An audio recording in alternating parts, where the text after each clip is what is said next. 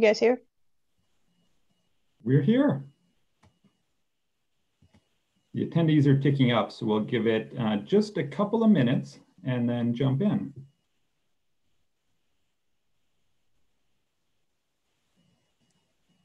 And we can see you, Tara.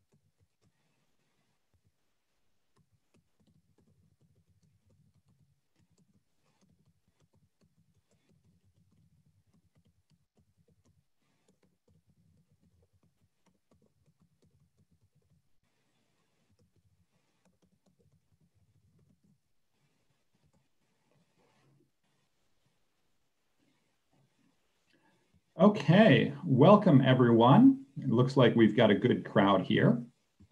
And I'd like to welcome you all to the second Zephyr virtual learning session. Today's topic is perspective and retrospective views of uncertainty in travel forecasting. I'm Greg Erhardt from the University of Kentucky, uh, and we're gonna have two excellent presenters today, Dan Engelberg and Jawad Hoque, and then two discussants, Rachel Copperman and Tara Weidner, uh, who will respond to some of what they have and hopefully generate a bit of discussion. Uh, we'd like to get your input on this. Um, first, I'd remind you, start with a few reminders. First, um, by participating, you agree to our code of conduct, which basically means be nice to each other. Um, if you have questions, there's two ways to do this. Put your questions in the chat box, and if you could, make sure it says to all panelists and attendees. Um, and what we'll do is I'll kind of, kind of keep track of the questions and stop and discuss and um, pose those to our panelists as we go. Uh, I'd actually prefer it if you're interested in asking your own questions, just put that in the chat box and we can unmute you, let you ask your question and participate in the discussion directly. Um, way this is gonna work is um, uh, I'll give sort of an intro talk, uh, set the stage. Jawad and uh, Dan will each present for about 15 minutes. Then Tara and Rachel will um, uh, respond, and then we'll have some open discussion. A reminder as well that we're recording, and if you have um, technical issues, reach out to um, the email address there or in the Zoom chat, and Elizabeth is here kind of helping manage some of that. Okay, so hopefully uh, some of you may have seen this up on the TRB website this week that the forecasting through COVID-19 will be crucial for the future of transportation. This is a blog post they have. And the argument there, the case is that um, the issue is that uncertainty happens. No one, I think none of us reasonably anticipated this. And all of a sudden our forecasts are, are wrong and off. Um, there's stuff that happens that we don't anticipate that when we make a forecast. And it's not just COVID-19. You look back over the past 40 years or so, and you had a global financial crisis uh, 10 years ago. You had September 11th before that. Uh, the Berlin Wall came down in 1989. Sort of the repercussions of that had a tremendous influence on travel throughout Europe. Uh, oil crises in the 70s. Uh, we're in the business of making forecasts with the 20 year horizon, and there's these big, giant, unexpected events uh, that we've seen every 10 years or so uh, that we're not necessarily good at anticipating.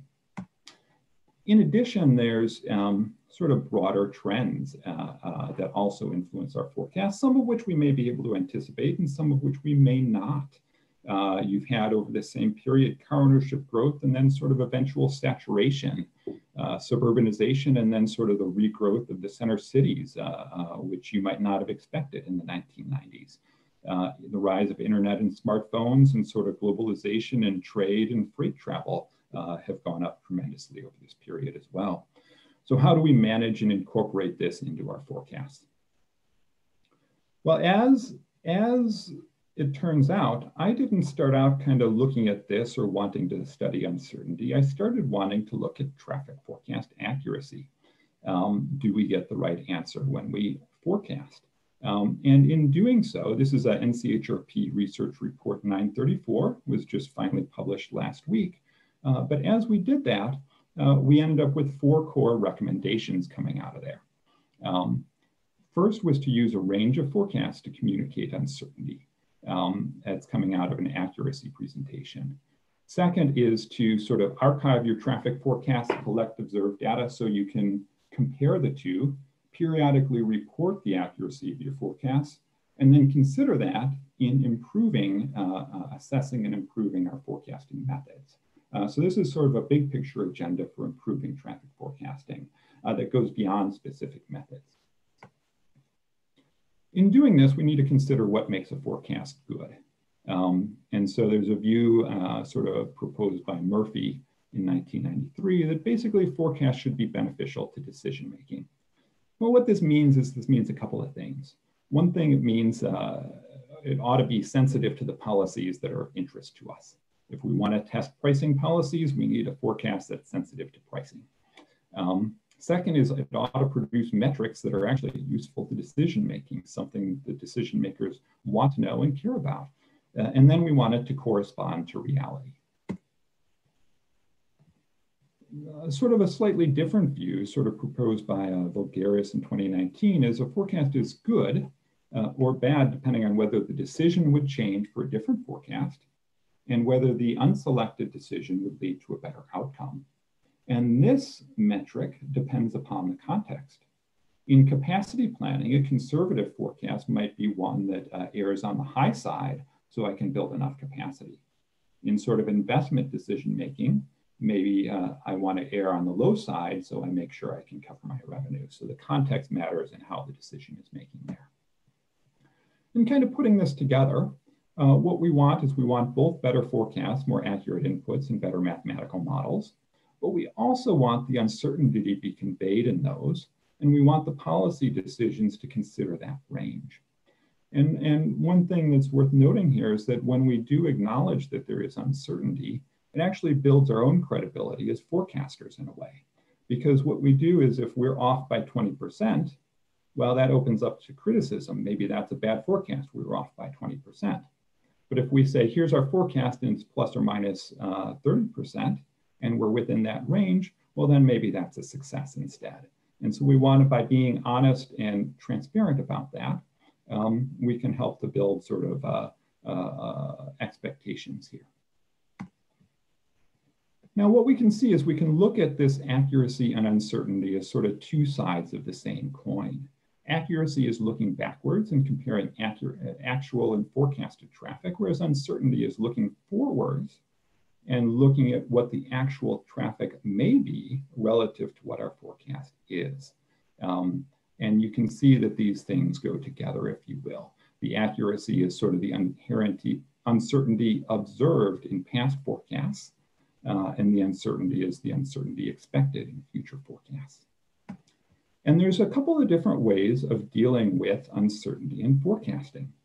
Uh, Jawad Hoque is going to talk about a retrospective view, and that's looking at uh, uh, the accuracy side of the coin and what that says about uncertainty. Dan Engelberg is uh, going to take a perspective view and say, well, if we expect these sorts of things are things that may be wrong, how can we capture that? Both are PhD students and both are very talented individuals that I expect you're going to be hearing more from in the next few years. Jawad's at University of Kentucky working with me. Dan is at MIT.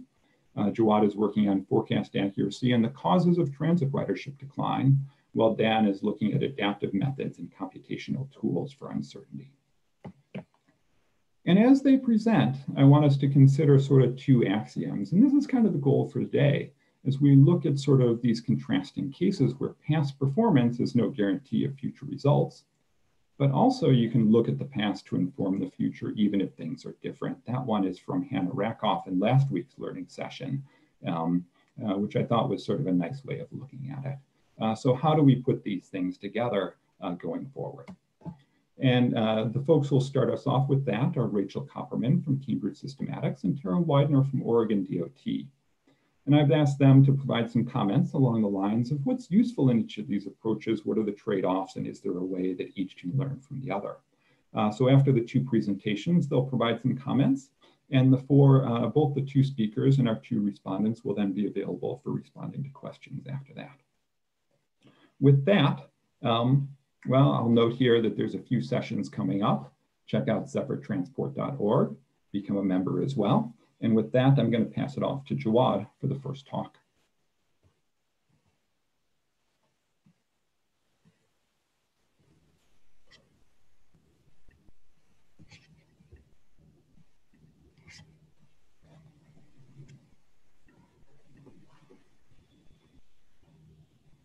Uh, is it on? Yep. All right. Um, thank you very much. Uh, hi, everyone. Um, thanks for being here. My presentation today is a product of our research work on NCHRP 934, um, where we looked at the state of accuracy of traffic forecast in the United States. Um, as Greg had mentioned before, accuracy and uncertainty uh, are connected, are connected concepts, uh, especially uh, not just in the context of transportation planning, but in forecasting and planning in general. So where accuracy is a measure of closeness of observation and prediction, uncertainty is an estimate of the accuracy itself. Um, so once you know how accurate your forecasts have been in the past, you can adjust your forecasts based on that knowledge.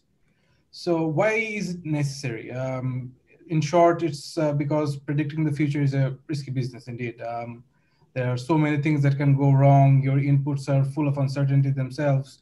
So policy should account for this uncertainty in the forecast. I mean, it should consider what would happen if a particular forecast display similar level of inaccuracy as past forecasts. Would the decision change? Can the decision absorb the risk? So this uncertainty comes in the form of a range of values possible for actual traffic or the spread. Um, there have been quite a few studies, uh, but uh, most of the studies have to be content with just the general measure of inaccuracy. Very few were actually able to identify systematic biases on uh, explanatory variables. Um, even when they did, they did an analysis on a very small sample, and um, so which was not enough to uh, base any decision on. So the short review of the literature is uh, while accuracy was studied on, the uncertainty not so much in, in the sense we are presenting here today. One of the rare few studies was a continuation of Standard & Poor's research on traffic forecast accuracy on toll roads. Robert Bain conducted a survey of 40 professionals uh, about their estimate of forecast reasonableness, how much they expected their uh, act the actual traffic to deviate from their forecasts.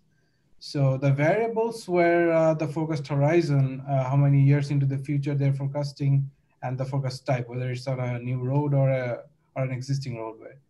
So he constructed a sort of uh, focused envelope, uncertainty envelope. Only trouble is the envelope is not based on any empirical results, just an estimate of the response based guesses, I guess. So uh, this is not to say that constructing uncertainty envelope is an entirely new concept. Um, we see it in practice as sensitivity tests, scenario analysis, and Monte Carlo simulations. So all of these methods uh, measure elasticity of travel demand with respect to the upper and lower limits of the input variables. You run the model with extreme values of the inputs, you get sensitivity analysis. You run it with the most likely, optimistic, and pessimistic values.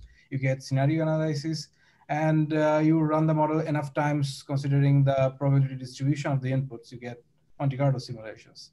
But these have limitations. Uh, they assume about the, they make a lot of assumptions about the range of inputs uh, the upper limits, lower limits, even the most likely pessimistic, optimistic scenarios are randomly defined.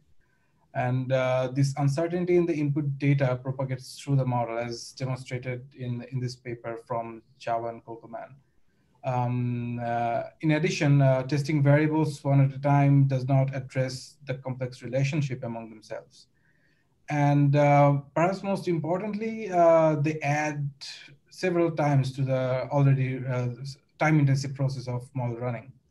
So uh, the other way to address this uncertainty, uncertainty is uh, um, employing what Asher calls outsiders approach and Tversky calls uh, reference class forecast. This, this concept is uh, basically using past performance to uh, modify future forecasts and this is done using base rate and distribution results from similar situations in the past to adjust the forecasts. Uh, in this research, we have done, we have uh, employed that the principle of reference class or outsiders view to create uncertainty envelopes. So we consider the spread of the variables that induce the bias. For example, for traffic forecast, these, uh, these variables may be the roadway functional class, whether the forecast is done for a interstate or a, a local roadway, or even or the project type, whether it's a new construction project or existing roadway. For transit ridership, it could be by the locality type, transit or auto-oriented, high or low population density area, even project type, rail or bus route developments, etc., because all of these behave differently. Um, so the way we do it is, is using a method called quantile regression. Uh, the ordinary least square regression is drawing lines through the middle of the cloud. In quantile regression, we draw lines along the edge of the cloud so that uh, uh, so that a certain percent of data points fall within within that value. So, um, for example, if we if we draw these two lines, uh, so that 90% of the data points fall within this range, we can say that um, uh, if uh, we can say that the range produced by the regression lines denote 90% of the for past forecast with similar conditions. So if there is not a drastic change in the travel behavior, like this current COVID-19 lockdown, or even a sudden surge of CAVs, we can expect that our new forecast would be within this range. It's, it's because this 90% of the forecasts are made using similar methodology, similar assumptions, uh, since we have uh, constructed this, uh, these lines using the principle of reference class, so uh, it considers the range of input data and uncertainty. It's kind of like using a proxy for input variability. And uh, the method and constructing the um, uncertain envelope becomes very simple because it's as simple as inputting values in a spreadsheet and drawing lines, which will, I will show you a bit later. Um, the starting point for this work is a paper by Odeck and Welde in 2017, where they proposed a regression model that estimates the actual traffic volume as a function of the forecast volume.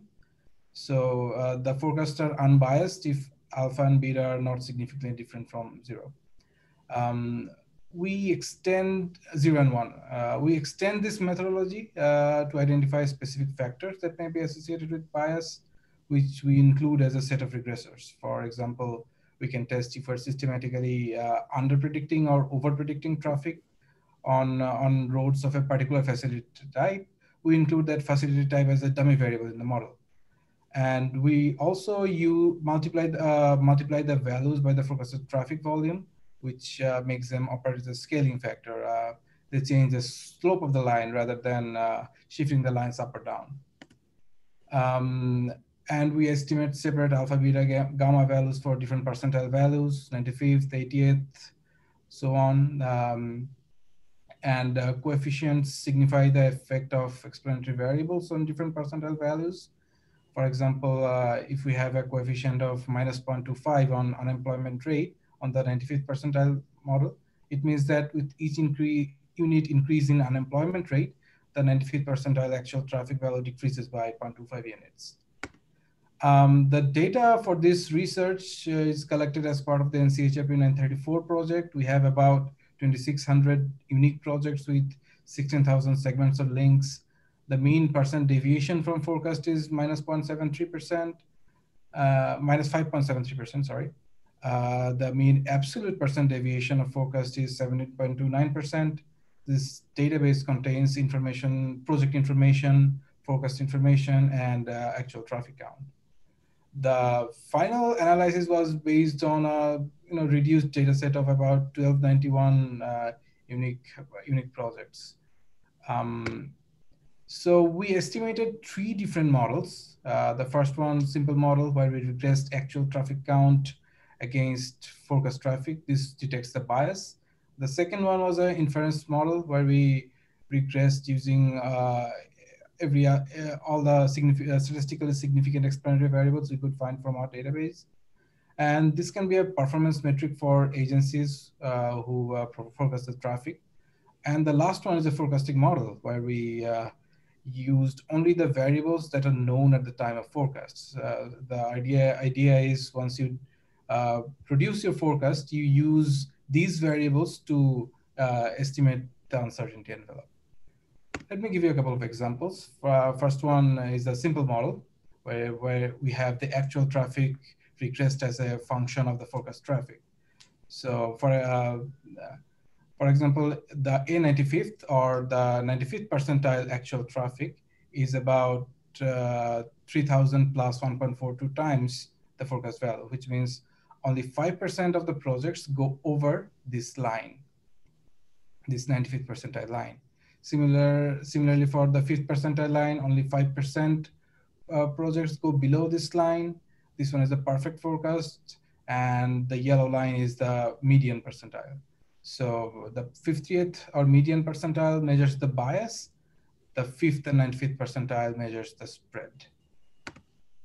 Um, for the forecast model, uh, we use all these variables that are known at the time of forecast, as I've said earlier.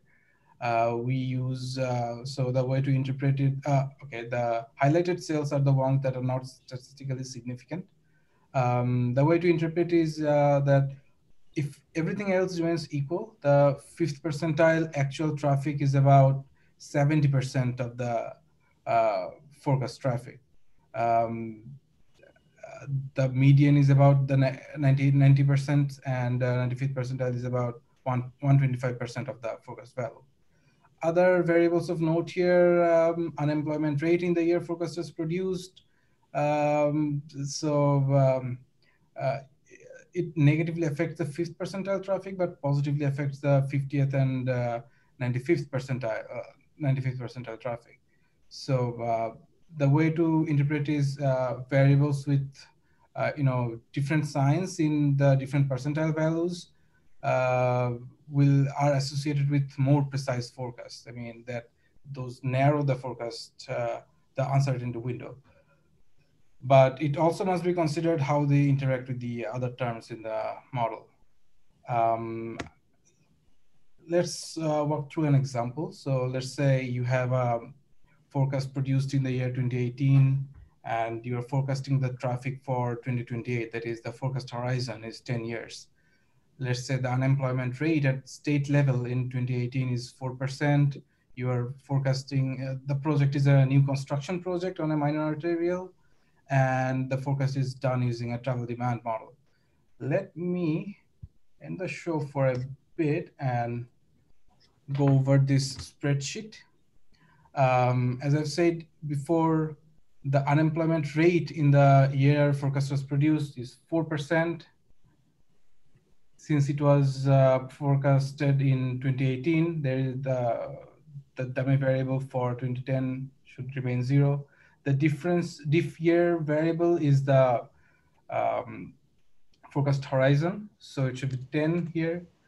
You are, you are forecasting for a new roadway. So let's put it as a one, the binary variable. And you are forecasting using a travel demand model. So let's put a one here. And minor arterial is a reference class. So arterial and collector, uh, collector local, we're not putting anything. So using this spreadsheet, you get this, this uh, uh, chart right here, which denotes the uncertainty envelope using past forecasts. And the way to interpret it is, let's say you have a forecast of uh, 20,000 traffic.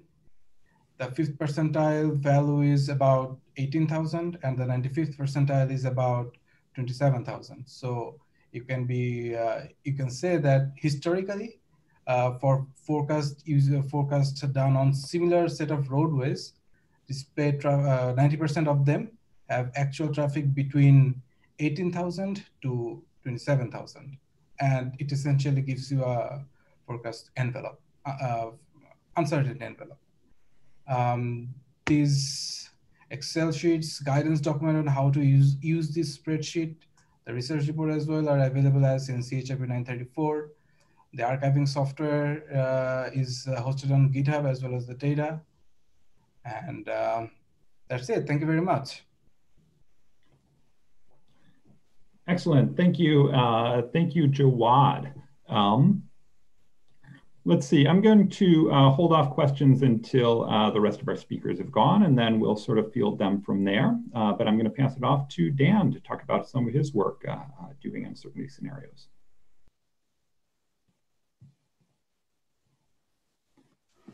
One moment. Two.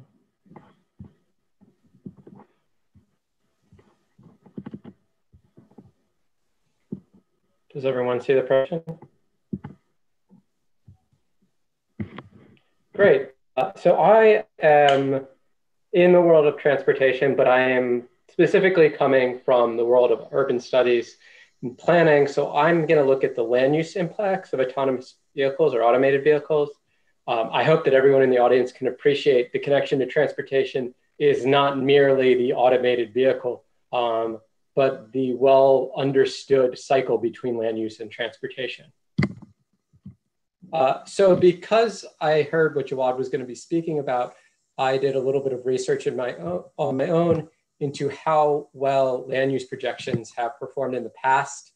Um, I'm not trying to pick on the Washington Council of Governments here. This is actually a compliment to them because they make all of their forecasts available back to 1976, um, which I could not find um, for several other agencies. Um, so you can see here a couple of cases, uh, one being a Washington, DC. Uh, at first, they refused to acknowledge uh, the decline of the inner city, uh, and then they finally acknowledged it, and yet things had turned around and population was booming again. Uh, we can also see Loudoun County, Virginia. Um, what started out as a very exurban county uh, all of a sudden exploded into now suburban county, um, and the forecast persistently under projected Loudoun County. Uh, so I looked at the forecast for all of the eight jurisdictions that were included in the forecast back to 1976. Uh, you can see kind of the mean squared error exploding uh, as we get to forecasts that are 20 or more years out.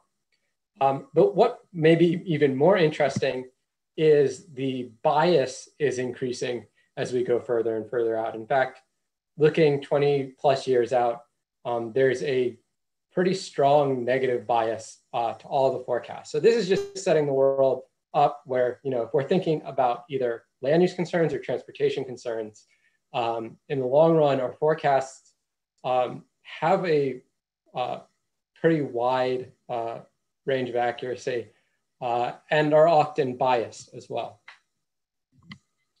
Uh, but I want to think less about getting a particular correct forecast or range of correct forecast uh, and think more about what policies uh, work well in a variety of forecasts. I really appreciate how uh, Greg defined accuracy of forecast because it was in terms of the usefulness uh, of our policies when applied through them. Uh, so instead of thinking about most likely futures or a range of most likely futures, think about which policies are robust to the range of possible futures.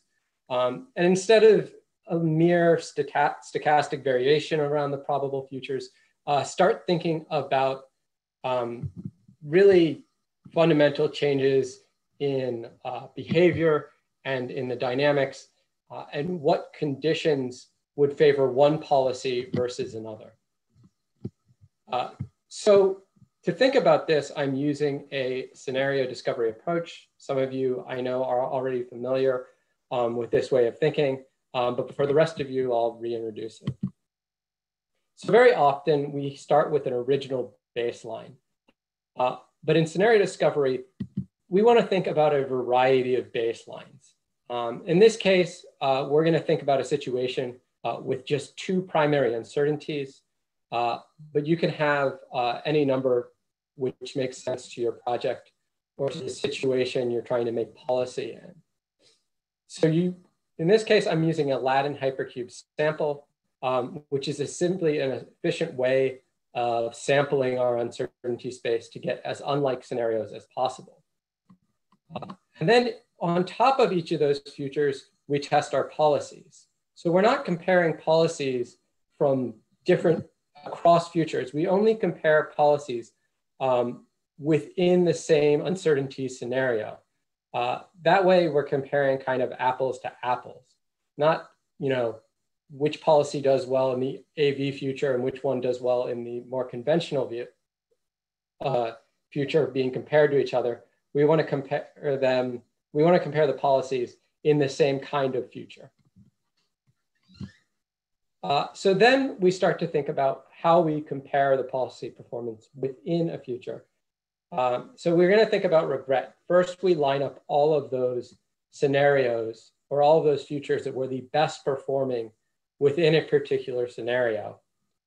And then we look at their performance relative to that best performing future. Uh, so the score of regret is essentially what was lost by not taking the best policy, policy strategy given that scenario that we've entered. Um, and then in the case of scenario discovery, we often set up some sort of threshold in which we declare certain policies failures versus successes. Um, in the case of my research, I often use kind of the median level of regret. Um, but in actual planning processes, uh, the experts at the table and the public might have certain thresholds that are really important. You can think of that particularly with environmental indicators, um, where crossing a particular threshold uh, might have very steep consequences. Uh, so now we can map out all of our scenarios, all, within a policy, we can map out our scenarios according to whether they were a success or a failure. And we can use an algorithm called the patient rule induction method to very simply draw boxes around the failed future. So you can see in this case, when uncertainty B is at its high level and uncertainty A is at a low level, um, then this policy is not really operating as we'd like. Um, so we can start to think about kind of signposts and indicators of when we might be heading in that direction in the long-term future.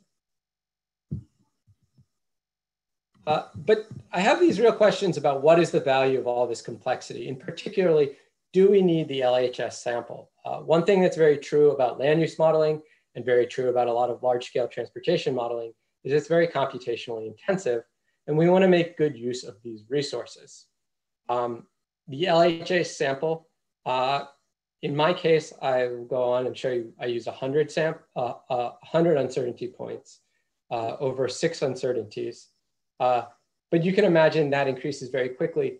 Uh, the professionals that really introduced these um, scenario discovery techniques uh, were running thousands or tens of thousands of scenarios um, using very quick strategic models.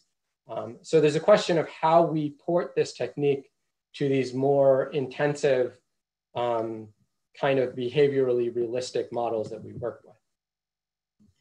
Uh, and in particular, I'm interested in knowing how scenario discovery compares to a more traditional way we think of developing scenarios.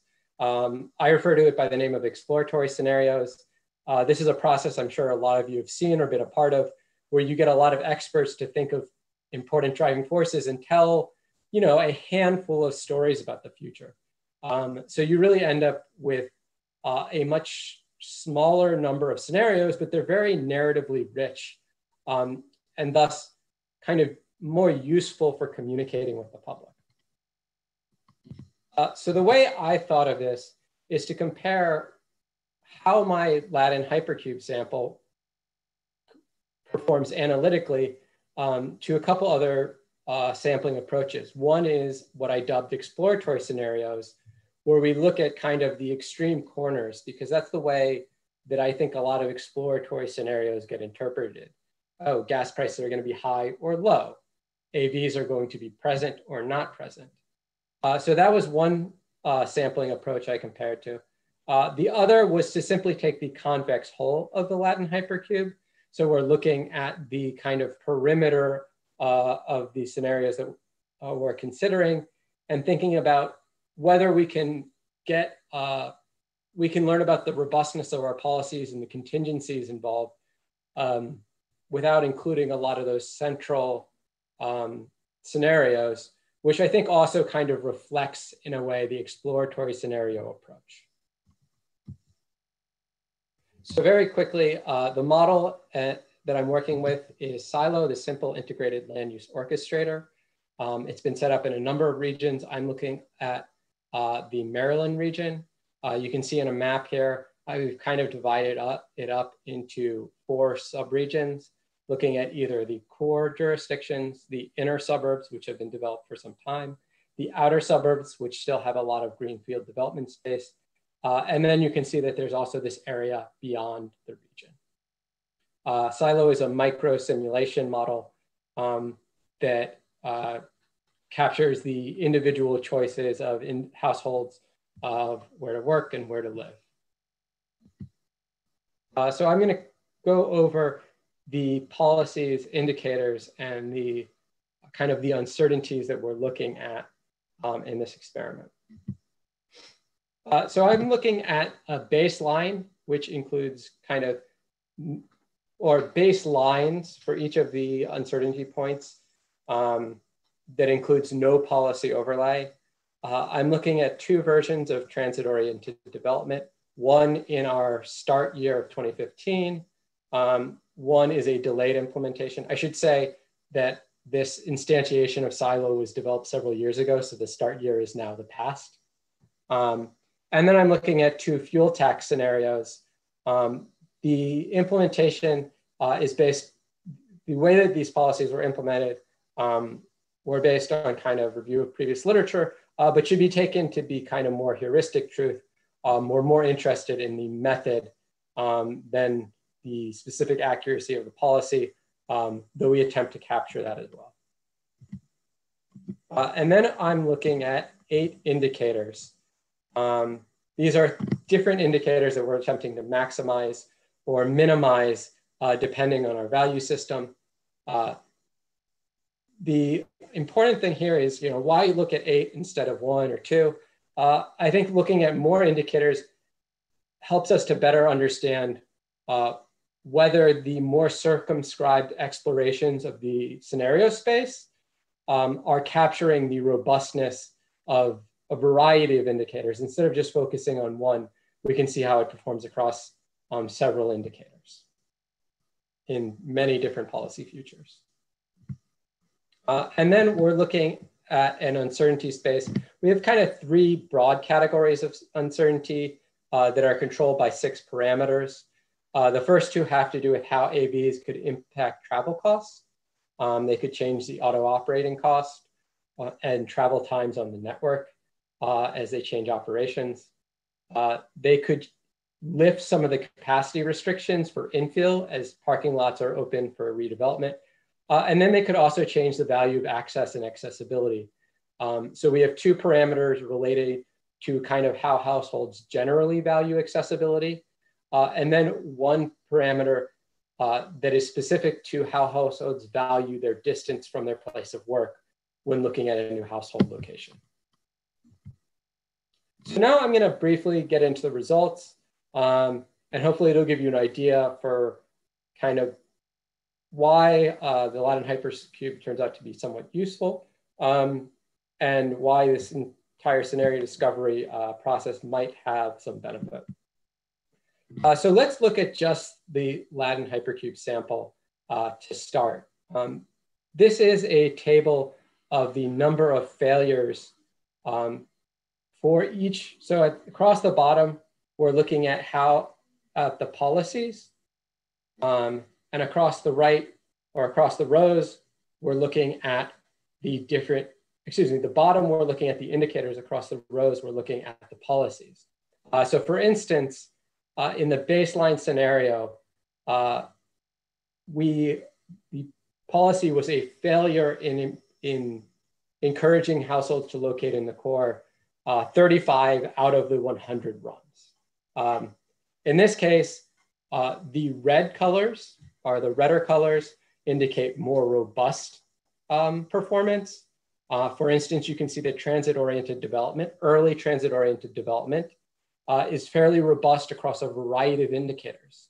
Uh, interestingly, it fails to encourage households in the core quite as much uh, because Washington, DC has uh, quite a sprawling rail system uh, that opens up a lot of development area in Montgomery County, Fairfax, and Prince George's County.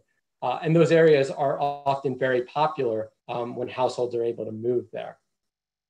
Uh, so this gives you an idea of how scenario discovery can uh, kind of measure the robustness of policies across a variety of indicators. And this is kind of one sample of the many uh, boxes that we drew with the patient rule induction method um, to look at when these policies fail. Um, one of these boxes was drawn for every single uh, combination of policy and indicator. So in this case, we're looking at the baseline, baseline policy um, and when it encourages households in the core and when it fails to do that. Um, we can see in this case that when the distance to work is kind of minimal, the preference for distance to work is minimal, and when travel times on the network are more restrained, uh, then the regret from not choosing, say, a transit-oriented development or, or a gas price policy uh, is much higher. That is to say that in our more familiar conditions, in conditions that are more similar to today, that uh, automated vehicles had minimal impact, uh, our policy options are more effective if we go away from the baseline, the baseline policy. Uh, on the other hand, if the impacts of automated vehicles are more radical, if people are now willing to live much further from work and travel times on the network um, have decreased substantially, uh, then we are seeing the policy, the relative policy effectiveness of going away from the baseline future is less. Uh, so I won't get into a lot more of the prim boxes, um, but I will say that in addition to early transit-oriented development being kind of the more robust uh, policy across several indicators, uh, that that pattern we noticed with uh, the baseline scenario and promoting households in the core uh, tended to be true across a lot of indicators and a lot of policies, that it seems like the introduction of more extreme AV scenarios uh, blunted a lot of our policy instruments. Um, for instance, when we open up transit-oriented development capacity uh, in the core and the inner suburbs, that was most effective when households felt the greatest need to live close to the core, live close to jobs, live close to accessible locations. Um, the policy still outperforms other policies uh, when the AV scenarios are more extreme, when they're more radical, uh, but its outperformance is severely diminished. Um, so this is a really interesting finding um, that the introduction of AVs could blunt a lot of our, um, what we think of as our typical instruments um, for encouraging more compact development. Uh, and then the final thing that I looked at is like, how did the use of the Latin hypercube compare to these two other ways of looking at the uncertainty space? Uh, I mean, the first thing we notice is that the exploratory scenario approach and the convex hull um, were not total disasters. Uh, they didn't sample the space in such a way that they have no resemblance um, to the more complete exploration of the space. Uh, however, the very small sample size, eight runs or nine runs, uh, makes them very vulnerable to one or two um, unusual samples. Uh, and I should say that eight or nine runs is actually being generous. Most exploratory scenarios have three, four, five, six, maybe at most scenarios. Um, so even giving eight or nine runs uh, is being fairly generous. Um, but what is perhaps uh, another important result is not just that you know the robustness is very sensitive when you're doing such few runs, um, but performing the prim analysis to understand contingencies uh, really becomes non-viable. Um, I ran the algorithm, but when you're dealing with six uncertainties and eight runs, it's just very hard to locate when a policy is performing better relative to other policies uh, and when it is not. So it was only in the case of the 100 runs uh, that we really got sensible results out of that. Um, I should say maybe that, you know, moving forward, there's nothing magical about the 100 runs. Um, I'm interested in looking at, well, what if we do 25 or 50? Um, or what if we, you know, move to a meta modeling approach um, where we build, we use machine learning uh, to build a facsimile of these results. Uh, okay, 10,000, 100,000 runs, um, and see compares um, to our 100 runs. Thank you very much. Uh, again, Dan Engelberg, and great to speak to all of you. Excellent. Thank you very much, Dan. Um, I'm going to pass it next to Rachel to provide some uh, thoughts on both of these. Sure. Um, hello, thank you. Um, so I believe I have three questions that I, I need to focus on in terms of, of, of my responses. Um, so uh, first of all, great presentations. Um, I think both methodologies have their place um, for sure. Um, and I think that goes back to what um, Greg said in his initial presentation, right? Um, one focusing on accuracy, one focusing on certainty, and where we want to focus on which methodology is best depends on what we're trying to analyze. Uh, so the you know what I see is, is that first of all, any anything we do is going to be better what, than what the current norm is in terms of uh, analyzing uh, different policies and, and, running our models for different situations. Um, I see the, the retrospective um, methodology in, is specifically the one you know, uh, which Jawad was focusing on in terms of um, taking past data um, and comparing it to existing counts, um, uh, past counts, past forecasts, comparing existing counts and such, and, and figuring out where the error lies. I mean, that type of analysis you know, is uh, important when we really do need accuracy. So toll analysis, um, cost benefit analysis, trade-offs, um, break-even analysis, um, where we, you know, if you're going to build this particular road versus another particular road, or uh, whether to build a toll road at all, um, incorporating this type of analysis seems ideal. Um, and uh, but I think it does, it, and that's where I think that that, that can really um, help help the field in that one, and might be even kind of better than than some of the traditional um, you know risk analysis that is a little bit more similar to to um, Daniel's presentation in terms of the uncertainty analysis and just looking forward. Um, so really utilizing past data, um, good an analysis of it, and then you know being able to to see where the the true kind of percentiles are in terms of that. Um, I think there's limitations in the fact that it's very data intensive. Um, so being able to get good source of data um, for understanding how our models um, are um, incorrect, um, it requires a lot of data. but I also think that's also where we can do better. I think in terms of when we build models, we kind of reset, right? Every few years, we're like, okay, well, we have a new household travel survey. Let's reset our model based on existing new inputs for this year, and then we're going to forecast out. Whereas you know really feeding off of okay well what did what was our you know model from 10 years you know our household travel survey from 10 years ago from 10 years before that like what are those patterns telling us? Um, maybe we shouldn't be completely resetting. Maybe we should be utilizing that information to then better build the next model. So really working towards you know more of a, a time series type of you know analysis and, and modeling of, and building our models. Um, and then if you know the daniel's presentation on on you know incorporating uncertainty um, is obviously better for places where we really want to look at um, really trying to take into account maybe those disruptors that might happen, um, right? AV scenarios um, uh, and and such that we really can't use past past data for.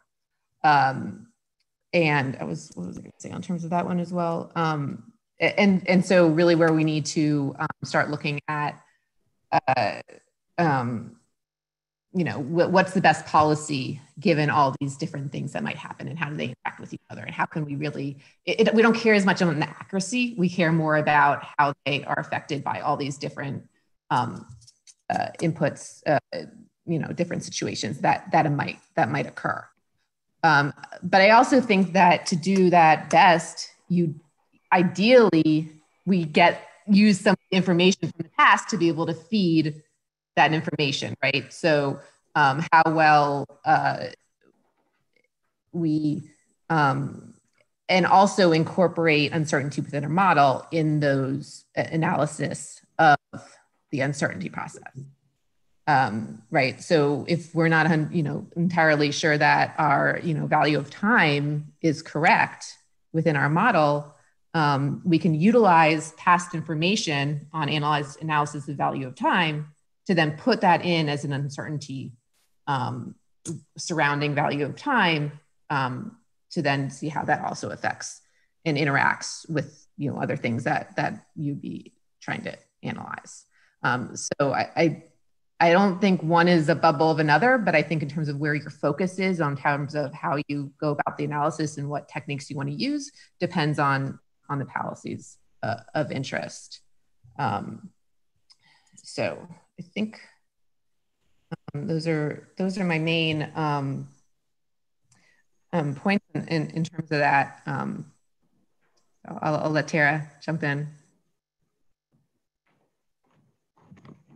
Great, thanks. This is uh, really great. I'm so excited to talk about uncertainty because I feel like, um, you know, I've just feel it's so important for us to not have one future um, anymore because I think in the past we have had a very linear approach to more VMT, more autos, more auto ownership. There's it's been on a pretty linear path until probably about five years ago, and then we got Uber and we got scooters and we've got you know fuel prices and we're going to have to raise some revenue here so pricing policies. So we don't really have a lot of past history to a lot of this stuff. And so i think uh, it's not really honest and transparent for us as a profession to say that there is one single future and to keep polishing that single future and trying to get more and more accurate when we know that there are some wildly different futures out there that we um, it's important for our decision makers to consider those.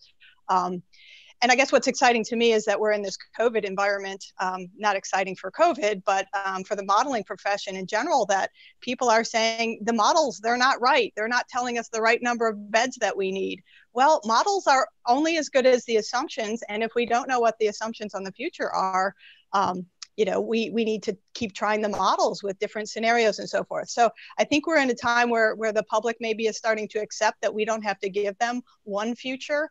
Um, and so I think that, you know, it's a, a, good opportunity for us to sort of break open and look at the techniques that help us get to there.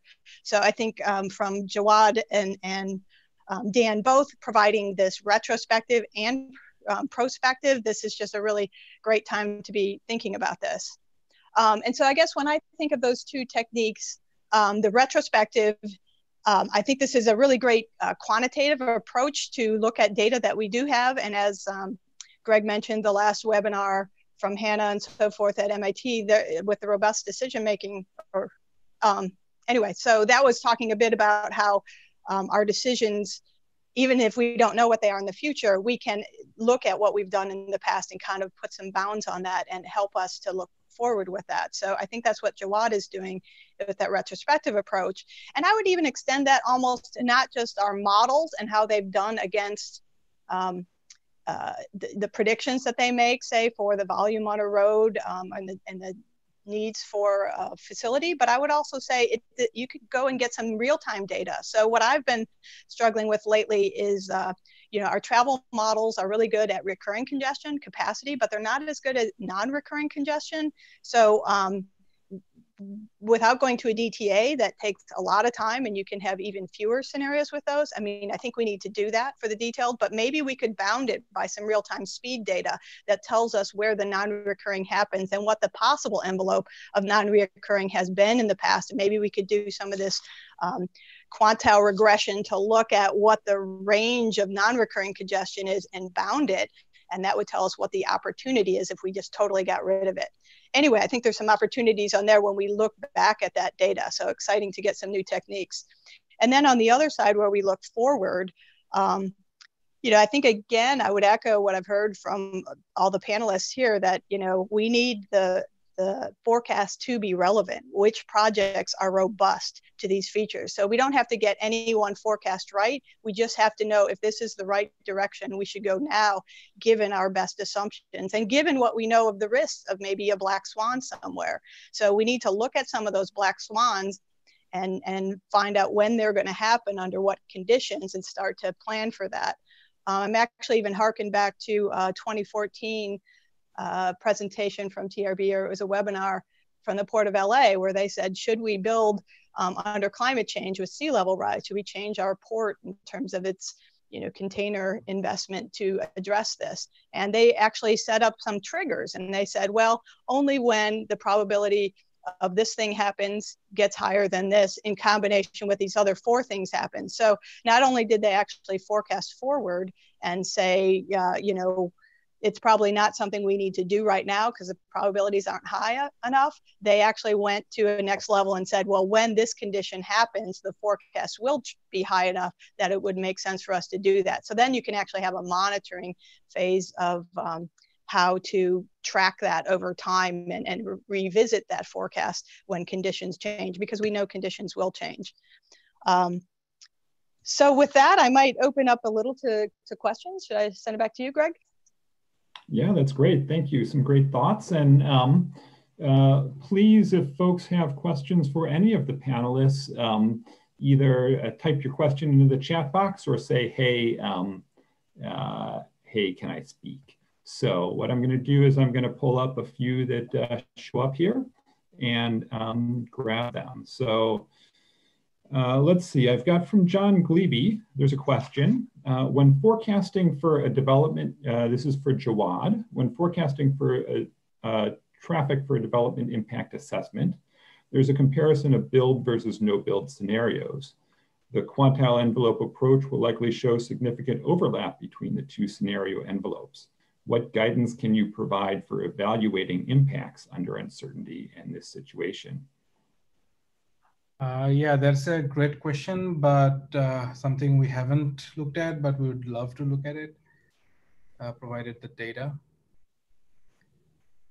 Yeah, I think I think it's a great question. One thing I will note is if you look at the the UK does these post-opening project evaluations, and one of the things some of those project evaluations look at is they will look at they'll compare the no build forecast to pre-project traffic counts and then the build forecast to post-project traffic counts. So there might be something you could do along those lines, but it's not something that was dealt with in this project. Let's see, let me grab a couple more here. So I've got Hani Mahmassani says, panelists, recognizing possible alternative futures is important and scenario-based approaches have been around for many years. Equally, if not more important, are questions of how we may get there. The evolution is more important than some arbitrary point in the future. Urban systems spend more time in evolutionary mode than its steady state. Uh, would anyone like to sort of comment on that? or uh, Hani, if you'd like, I can sort of let you comment on that uh, uh, if there's anything uh, further you'd like to say. But let me send it first to the panelists. Uh, yeah, I think that's a great question. Uh, and I think that has a lot to do with thinking about the tools that we're going to use in these future looking approaches, as well as um, how we want to analyze the data. so, you know, the tool that I was working with, Silo, does produce a year by year time series. Um, there are even more intensive um, land use micro simulations that keep, you know, records of every home sale uh, in the system. So, you know, we, uh, we have models that can produce that kind of data, at least in my world. Uh, the question is how do we look at that data? I've seen um, in the decision making under deep uncertainty literature, uh, I've seen which which comes a lot from environmental planning, uh, which is another field that is very concerned with not just the endpoint but the trajectories. If you have overshoot at a point, uh, that can be catastrophe. Um, so they've used. Uh, I've seen approaches that have used machine learning to kind of group different trajectories and understand the conditions under which those trajectories are likely to occur. Um, but I think that there it needs to be a lot more investigation of how we look at scenarios as we're developing, not just as a you know single point in the future, um, but a whole time series and understanding those patterns.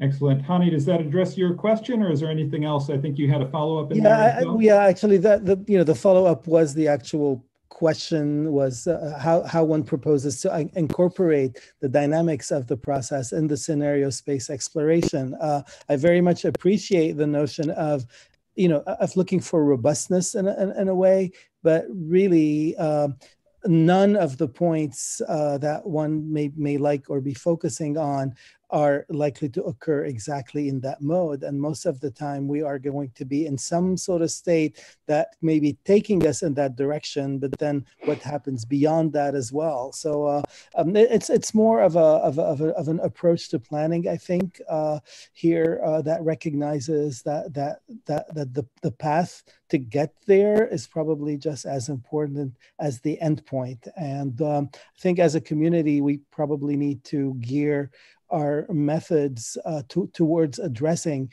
um, some of these questions. So it's just some comment in that way. Thanks. Yeah, I have a couple mm-hmm. comments. Um, I, I, I, agree. I think that's that's super important, and I'm not sure all variables um, are path dependent as much as you know. Land use clearly is path dependent. Some of those longer term decisions. Um, so I, do think that's important and it's important i think rachel was the one to point out you know fine tuning um, what those things are and then there so there's different forecasting you know that you might do for fine tuning and then there's some forecasting you would do for exploring futures. I think some of the exploring futures you may not know how you're going to get there. You just are saying what if we get there in an aspirational way or you know could be a negative way. Um, but what if we get to this state? Do we want to be there or not? Um, and then if we don't want to be there, we figure out what are the paths that get us there. And then it's important to have this path dependency to understand how that path might get us there. Or if we want to get there, you know, we do the reverse.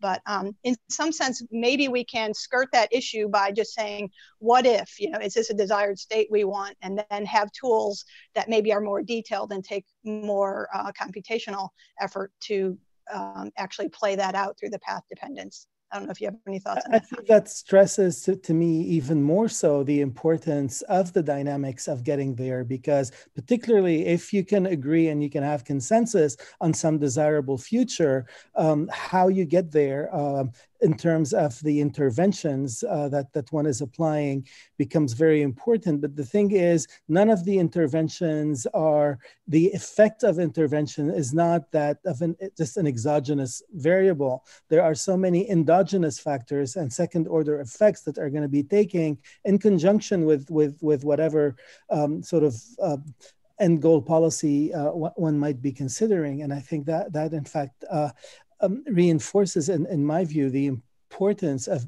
of having a, a better handle uh, on, on, on, on the path to get there, from a normative perspective in particular?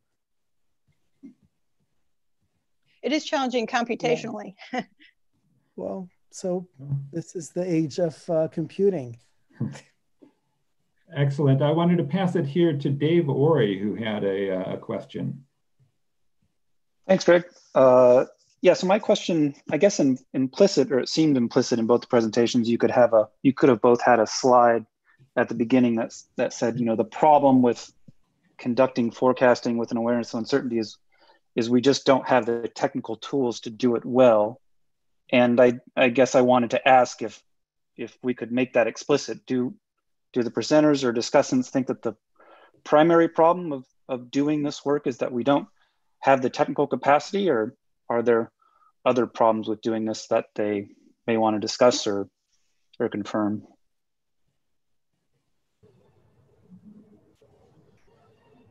I can take a first go at this. um, I mean, I think getting more tech, you know, technical tools, right, that make it easier to do this or, or make it um, cheaper or whatnot, um, or do it in a better way, um, is definitely part of the problem, right? That that I think we're at this point in you know the the world of travel demand modeling and, and land use and you know modeling and such to be able to do that right? I mean that's that's where kind of we are in terms of finding those tools. We're recognizing that there we need to address it and we're trying to find the tools to be able to do so. But it's you know, I don't think we're going to solve it by getting a perfect model that that is able to handle uh, or perfect methodology to be able to handle it. Um, for first of all, um, there's going to be uncertainties that we don't even know about, right? Um, so as much as we can try to figure out all the different um, disruptors and input variables that we need to tweak and have, you know, ranges about, um, we're still going to be wrong, right? Because they're still models um, and there's still something that we're not going to be able to to handle. So I think as technical as we can get, it's still not going to you know be able to do this perfectly. Um, so no, I don't think that's the entire entire issue, and it's also an issue of of reframing the way we think um, and reframing the people who use our models um, think and and saying and trying to convince them that you know we're providing a model here. We're not we're not providing you know the absolute answer. It's and being able to communicate that and ha- and having them be able to understand that we need um, to analyze it in this way and we need to put the resources towards analyzing this way and therefore we're going to get a better outcome overall. It may not be the correct um, you know exact volume on a road but it's going to be the best you know um, most you know robust and best option um, and this is Tara. I would um, back that idea that what, what tools ultimately are doing is supporting a conversation of policy makers um, and the public to make decisions. So it, it, at the end of the day boils down to the cognitive abilities of us to get our heads around all these options and then decide the best path forward given those. So technical tools are a tool to support that. Um, and I think what I've run up against in some of my work with, say, Vision Eval is we run lots of scenarios, and the scenarios are fast to run now, but it's sort of getting your head around what's the story that comes out of those scenarios.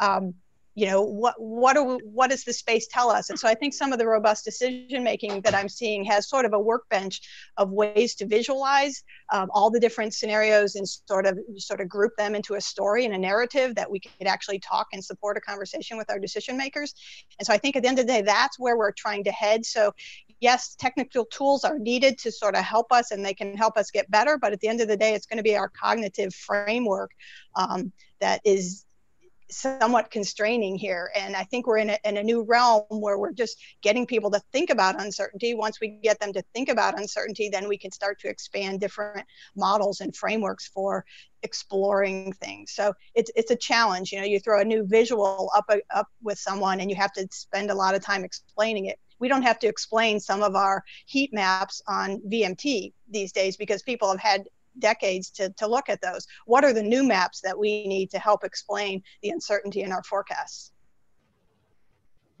Yeah, I would I'd follow up on that, and and uh, Dave, you can answer this as well if it's been you. But those of you who have presented uh, uh, sort of scenarios or ranges of results to decision makers, how is that received? Not great.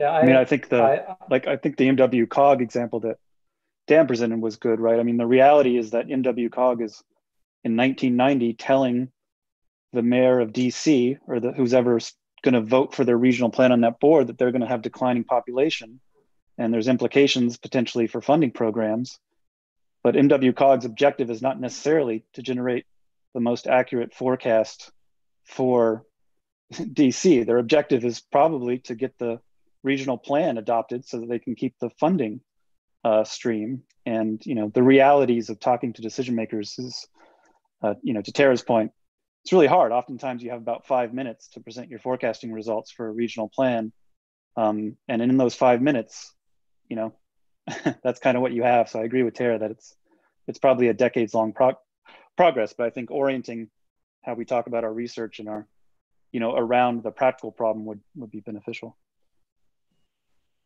Yeah, I, I think we're always going to we're always going to be pushing up against our technical limitations and we're always going to be looking at new tools but in the end um, to me this research is much more about you know understanding the tools as we have them and what they're capable of right now.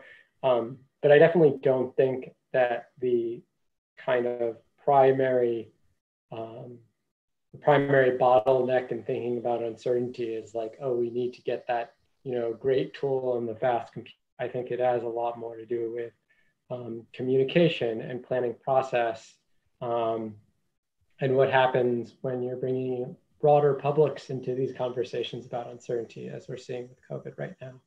Um, so for me, kind of the execution of the tool is uh, very much just one puzzle because I can't even start to try to communicate about the tool and bring it into a process until I really understand its capabilities.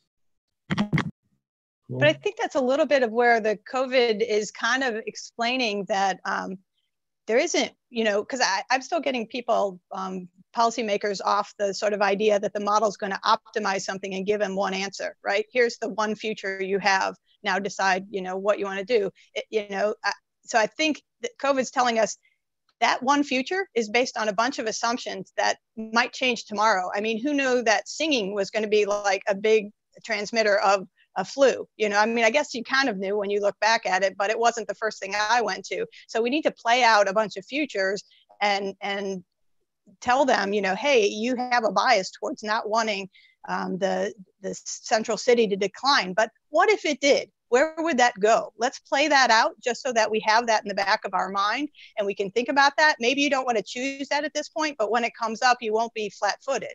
So I think we have to be a little bit more honest. And I think COVID is telling us that there are the models are only as good as our assumptions and so let's lay out and be transparent about our assumptions and talk about the risks that come with those assumptions cool thanks i'm going to pass it to matthew conway who had a couple of questions in the chat uh, uh, would you like to follow up on any of those or ask any of those uh, uh live here yeah, I think Jawad got to my question, but I had two questions more technical for Dan after this interesting discussion of the less technical aspects. So just first of all, very basic question. The margins of the Latin hypercube, are those just uniformly distributed? And then my second question was, when we're talking about running a model 100 or 1,000 times with commodity cloud computing like Amazon Web Services, is that like, are we able to, you know, implement all the, run all those model runs simultaneously? So, you know, if it takes six hours to run one, it also takes six hours to run a thousand if we use a thousand machines, right? Uh, yeah, first point, uh, yeah, the borders of the Latin hypercube normally distribute. Uh, I have seen some work that has um, kind of distorted the border so as to uh, oversample in kind of the extreme range. Uh, that, you know, given the results that I saw that the extreme areas are, are somewhat representative, at least case that there's not two linearities. Um, maybe it does make sense to oversample in the extreme areas, but still ensure that we're sampling sufficiently from uh, kind of the center of the distribution. Uh, as for the potential of, you know, high processing computing, um, online and accessible and cheap, um, I think that there is a lot of promise in that. Um, honestly, uh, I am not the uh, I am not the uh, wisest person in the, the kind of software hardware integration. Let's get a million runs kind of thing. Um, but it's something that as I continue to move, I am kind of curious about the the bounds for um, getting uh, getting these models to run many more times. I think one of the challenges of it is often that, or at least that I have experienced, um, is that very often these models are um, such unique beasts uh, that that that there's effort on getting it up and into one of those systems. Um, but once you have it there, um, then I think there's a lot of potential. Thank you. Excellent. Um, and uh, Tushar, I think you had a question as well. Uh, thank you, Uh, just wanted to confirm with Jawad about uh, his data and his analysis. Uh, did you find um, that forecast before a certain time, like 2010, were less accurate than the newer forecasts? In my follow-up questions, where did you find similar stuff in transit versus roads? And within roads, did you find something with toll is better or worse than the normal other non-toll roads? Yeah, thank you very much. Um, so I'm looking at the set of results here. So it seems that from uh, after 2010, the forecast performance has gone better. Like for example, in the uh, between uh, in the decade of 2010 to 2010, 2001 to 2010, the mean absolute percent difference from forecast was 15.79%, whereas after 2010, it decreased to 11.83%. So there is a definite improvement after 2010. And the other reason is uh, we want the forecasting model to be useful at the time of forecast. So if you're if you're forecasting now, it should definitely be after 2010, and it should incorporate all the techno, uh, technical advantages or advancements we have experienced since 2010 about transit versus roads? Uh, okay, transit. Uh, we haven't looked at transit in this research yet, uh, okay. specifically on traffic forecasts, and we don't have data, much data on toll roads as well. Thanks. I had a general comment about, I know the uncertainty space is uh, important to know uh, the overall, the probability of 5 percentile to 95 percentile and stuff like that, but when you are ready to go and uh, implement a project, I guess after decision is made to implement a project, our designers or financiers really latch on one number and they do need one number. And so I just wanted to point out that that, that need is still gonna be there regardless uh, our explorations over there. Yeah. Excellent. And I just wanted to touch base here. Is there anyone who I didn't call on um, that wants to ask a question? I'm not sure if I got everyone here. And so if you uh, I missed you, please speak up. And is there anyone who didn't get their question addressed uh, sufficiently that would like to chime in?